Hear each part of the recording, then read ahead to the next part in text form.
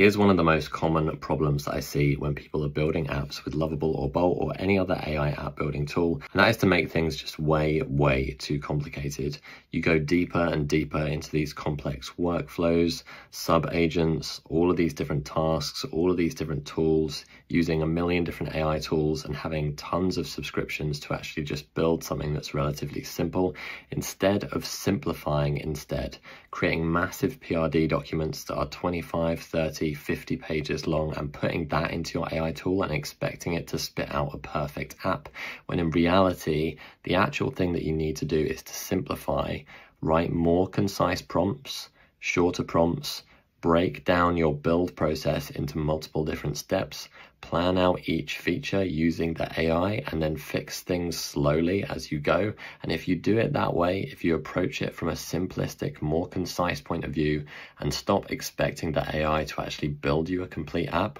from a huge document, a huge PRD that you've generated, you're going to have way more success in actually building an app that can scale, that can get customers, and actually works. So break it down step by step make it simple, stop using hundreds and hundreds of different tools,